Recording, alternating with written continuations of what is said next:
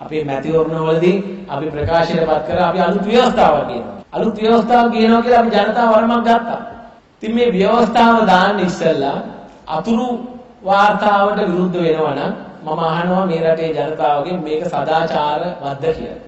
අතුරු වාර්තාව දාලා තියෙන්නේ මේ ව්‍යවස්ථාවේ ඕන සංශෝධනයක් කරලා හැමෝගෙම අදහස් අරගෙන බහුතරයේ අදහස් ක්‍රියාත්මක කරන්න. ඉතින් හැබැයි ඒක ගේන්නත් ඉස්සෙල්ලා එපා කියනවා මම දන්නේ ඒතර තියෙන න්‍යාය පත්‍රය මොකක්ද කියලා. මම කැමති ආහන කැබිනට් ඇමතිවරයෙක් විදියට විශේෂයෙන් අපි මහජන නියෝජිත විදියට අපි ජනතාවගෙන් සහ රටින් ප්‍රශ්න කරන්න ඕනේ මේක සාධාරණද කියලා.